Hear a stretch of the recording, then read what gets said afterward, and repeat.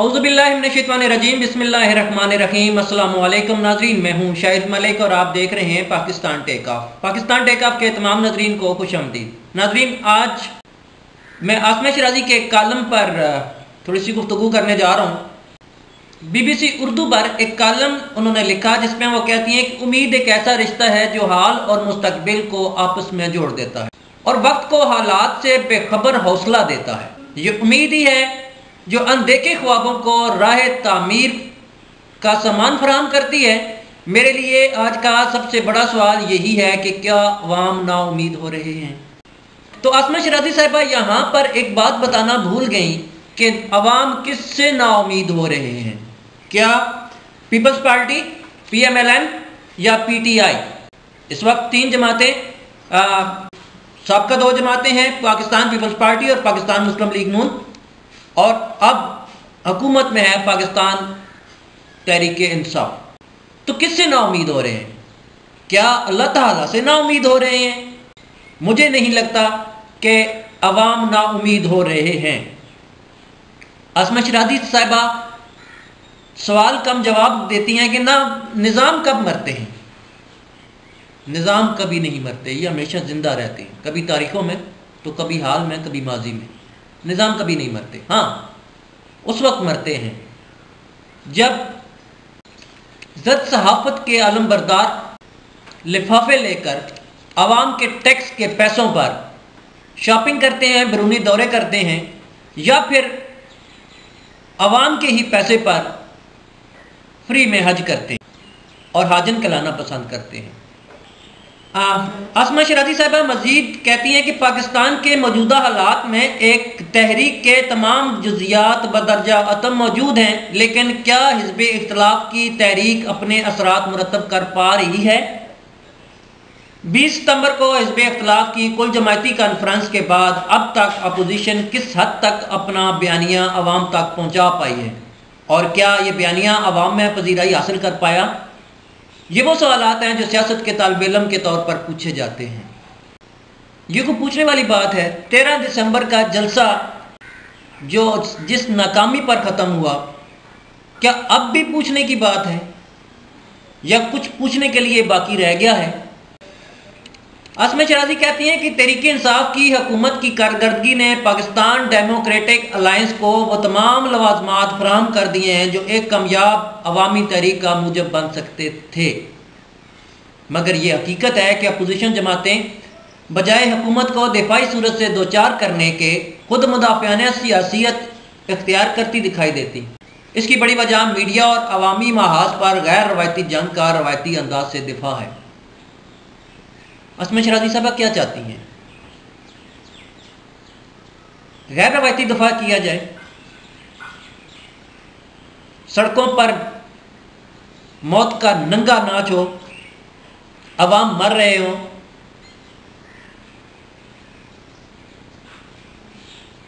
अब क्या चाहती हैं? किस तरह की गैर रवायती अंदाज से आप चाहती हैं कि अपोजिशन जमातें करें और ताकि वो वापस आ सकें और आपके लिफाफे खुल सकें, आप दोबारा से हज कर सकें, आवाम के पैसों पे, आप बैरूनी दौरों पर जा सकें। क्या चाहती के हैं? तहरीक इंसाफ की खराब मुआशी करदगी steel mill, P I A, railways जैसे बड़े इदारों की ज़मीन बोसी चीनी अद्वियात, गंदम, पेट्रोल और एलएनजी जैसे बड़े स्कैंडल्स, रोटी, अशियाए कुर्दोनोश में अफरात ज़र और रोज़ बरोज़ बढ़ती महँगाई जैसी तैयार डिशों के बावजूद अपोजिशन की हुकूमती देगों का चढ़ावा बन रहे हैं। मोहतमा यहाँ पर आप मुझे ये बताइए कि स्टील मिल की तबाही में तरीके इंसाफ का क्या हाथ है? इसमें तरीके इंसाफ का क्या किरदार है? क्या तीस साल तक तहरीक इंसाफ हुकूमत करती रही है? क्या ये पिछले तीस साल में जो चीफ जस्टिस इफ्तार चौधरी साहब ने सुमोटो लिया था स्टील मिल पर, जिसकी बदौलत, जिसकी वजह से उनको घर जाना पड़ा था और फिर एक बहुत बड़ी तहरीक और पाकिस्तान को उथल पुथल कर दिया गया था, जिसकी वजह से यूसुफ रजा गिलानी साहब को घर जाना पड़ा था। क्या ये स्टील मिल को डबोया तरीके इंसाफ ने है? पी आई ए के मुलाजमीन को तनख्वाहें नहीं मिल रही थी? और इसको हकूमती ख़जानों से पैसे दे देकर बचाया जा रहा था। क्या ये तरीके इंसाफ ने किया था? रेलवे के मजदूर, रेलवे के मुलाजिम पिछले दोनों अदवार में सड़कों पर थे। इसको भी हुकूमती खजानों से पैसे देकर बचाया जा रहा था।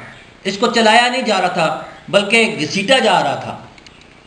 ज़बरदस्ती चलाने की कोशिश की जा रही थी। क्या ये भी तरीके इंसाफ ने किया था? चीनी की मिलें, तरीके इंसाफ की हैं। क्या उसमें अपोजिशन जमात के किसी बंदे की कोई चीनी की मिल नहीं है? आप उन्हें कहें कि लाएँ चीनी, बाहर सस्ती कर दें? चले, हुकूमत नहीं सस्ती कर सकती। आपकी महबूब जमातें, जो पीपल्स पार्टी और पीएमएलएन के लोग हैं, उनके पास भी चीनी की मिले हैं।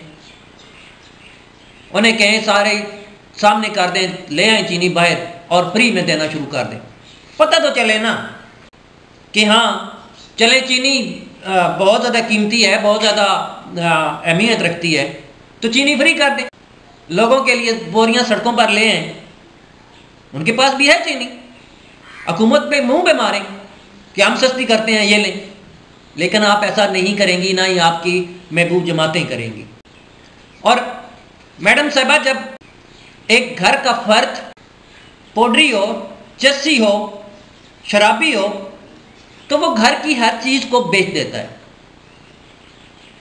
घर में कुछ नहीं बचता, कर्जे चढ़ जाते हैं। जब कर्जे चढ़ जाते हैं तो उनको उतारने के लिए मजीद कर्जे लेने पड़ते हैं। यहाँ इतफाक से सारे नशई वलटे हुए हुए थे, मैं पंजाबी में कहूँगा। इनका इनका नशा था दौलत जमा करना। इन्होंने बरून ममालिक अपनी दौलतें जमा की, फैक्ट्रीज लगाई। महल खरीदे अपार्टमेंट खरीदे। जिनके साथ बैरूनी दौरों पर जाती थी, उनको कह दें। वो पाकिस्तान की आवाम महँगाई में मर रही है, पिस रही है, दवाइयाँ महँगी हैं। वो अपार्टमेंट बेचें, वो महल बेचें, वो जितना उन्होंने बाहर जमा किया, वो पाकिस्तान में लाएँ पाकिस्तान तरीके इंसाफ को कुछ न दें। डायरेक्ट आवाम को दे दें और हाफ़ प्राइस में दे दें। पता तो चले आप अपोजिशन कर रहे हैं। लेकिन आप ऐसा नहीं करेंगे। क्यों नहीं करेंगे? आपकी महबूब जमातें ऐसा नहीं करेंगी। उन्होंने इसलिए नहीं लूटा था पाकिस्तान को। और जो आप कह रही हैं, तैयार डिशें आप कि जो अपोजिशन की ग्यारह जमातें हैं, जो किसी न किसी सूरत में बरसर इकतदार रही हैं, उनके मुर्दा ज़मीर भी उनको सर उठाने की हिम्मत नहीं दे रहे। उनके पास बताने के लिए कुछ नहीं। है क्यों?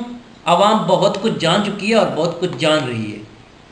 ये देगों का चढ़ावा नहीं, देगों के नीचे ईंधन बनेंगे। असमा शरादी साहब मजीद लिखती हैं, अपोजिशन इतिहाद में शामिल जमातों के तर्जमान या तो अदम दस्तियाब हैं या बयानिया के बोझ तले दबे दिखाई देते हैं। शाम सात से ग्यारह बजे टीवी चैनल पर हुकूमत को रगड़ा लगाने की बजाय किसी हुकूमती तर्जमान की छोटी सी अड़ंगी पर लड़खड़ा कर गिर पड़ते हैं। मोहतरमा, मैंने आपको बताया कि उनके पास बेचने के लिए अब कुछ नहीं है। अगर उनके पास कुछ है तो वो लूटी हुई दौलत है जिसको पाकिस्तान में लाकर अवाम में बांट देना चाहिए। अगर वो दोबारा इकतदार में आना चाहते हैं, और ये मेरा मशवरा है कि अगर वो वाकई दोबारा इकतदार हासिल करना चाहते हैं तो जितना लूटा हुआ माल बाहर रखा है, उस सबको ले आए पाकिस्तान में। और अवाम को बांट दें। आवाम को हाफ़ प्राइस पे जो चीज़ महँगी मिल रही है, उसको आवाम को हाफ़ प्राइस पर आप मुहैया करा दें। मैं आपको यकीन से कहता हूँ गारंटी के साथ कहता हूँ, कसम खा के कहता हूँ कि यही आवाम फिर से आपके पौध धोकर पीना शुरू कर देगी। अंधे को क्या चाहिए? दो आँखें, भूखे को क्या चाहिए? रोटी। और वो रोटी, कपड़ा और मकान कहाँ गया? किसको मिला? किसी को मिला नहीं। आपने नारा, ये बहुत अच्छा था, रोटी, कपड़ा और मकान। लेकिन हुआ क्या? रोटी भी आपको ही मिली आपकी महबूब जमातों ने इकट्ठी की, कपड़े भी उन्हें अच्छे मिले और मकान भी उन्होंने बैरून मुल्क और पता नहीं कहाँ कहाँ बनाए कौन कौन सी जजीरों पे जाके बनाए। और हकूमती तर्जमान छोटी सी अड़ंगी पर लड़खड़ा कर गिर पड़ते हैं। वो पहले ही इतने गिरे हुए हैं कि अब कि अब उनमें उठने की सकत नहीं रही। वो सिर्फ़ लड़खड़ा कर नहीं गिर रहे। उनको नशा ही इतना होगा कि लड़खड़ाने की ज़रूरत ही नहीं है, वो खुद ही नशा लड़खड़वा रहा है उनको। यहाँ पर मोहतरमा एक दफ़ा फिर एस्टेब्लिशमेंट को रगड़ा लगाना चाहती है कि माना कि हकूमत को इस्टेब्लिशमेंट की हमायत हासिल है, जिसका इजहार वज़ीर अजम बार बार कर चुके हैं। मोहतरमा, ये इस्टेब्लिशमेंट की मजबूरी है। इस्टेब्लिशमेंट की मजबूरी भी नहीं, आप इसको फ़र्ज़ कहें, उनकी ज़िम्मेदारी कहें कि उन्होंने हुकूमत का साथ देना है। एक तरफ़ आप अपोजिशन और हकूमती पार्टी को आपस में लड़ाना चाहती हैं, दूसरी तरफ़ आप अपोजिशन और हुकूमती जमात को और इस्टेब्लिशमेंट से लड़ाना चाहती हैं। मोहतरमा आप चाहती क्या हैं? ये तो बताएँ। इस अवाम को, इस पाकिस्तान को इतिहाद की ज़रूरत है, भाईचारे की ज़रूरत है, अमन की ज़रूरत है। और आप हमें आपस में ही लड़ाना चाहती हैं, क्यों? ताकि आप एक दफ़ा फिर फ्री में हज कर सकें, ताकि आप फिर एक दफ़ा बैरूनी दौरों पर जा सकें, ताकि वहाँ से फिर आप शॉपिंग कर सकें। आपने शुरू में कहा था कि उम्मीद खो रहे हैं, ना उम्मीद हो रहे हैं तो हम ना उम्मीद नहीं है। ये मिट्टी ज़रा नम हो तो बड़ी जरखेज है साकी। इसको लीडर की ज़रूरत है।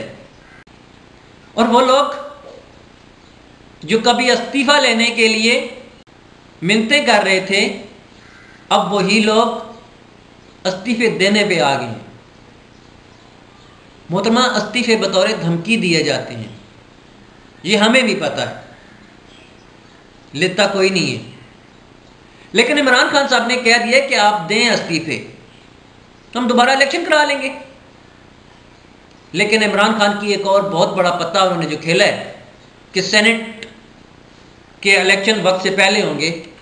अब वो कहाँ गया? लॉन्ग मार्च मोहतरमा, आप जितना भी भड़काना चाहती हैं, ये आवाम बहुत समझदार हो चुकी है। आप आधा किलो गोश्त के लिए पूरी भैंस जबा करना चाहती हैं, ये ना करें। नाजरीन, आप तक के लिए इतना ही। मिलते हैं अगली किसी वीडियो में। आपसे गुजारिश है कि चैनल को सब्सक्राइब कर लें, बेल आइकन को प्रेस कर लें, ताकि तमाम नोटिफिकेशन आपको पर वक्त मिलती रहें। इजाज़त दीजिए। अल्लाह हाफिज़। पाकिस्तान जिंदाबाद, पाकिस्तान पाइंदाबाद पाकिस्तान टेक ऑफ़।